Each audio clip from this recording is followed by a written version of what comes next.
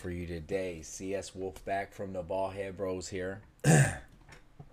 so me, me and my boy Ion on you, the other bald-headed bro, was in some matches, and we were in the Rebirth lobby.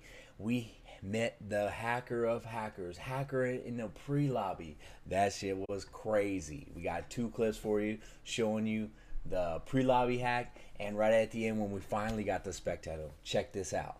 Ah, la, la, la. What do you mean? Oh, this dude's fucking cheating. Let's get our spectate game in, baby. Let's do it.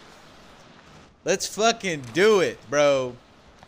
Cause that man's is fucking cheating, bro. See it, Bert? Pop off! Level 19! Let's go! Bro! Yes, it's TV2 Bulbasaur is using this motherfucker, bro. Look at...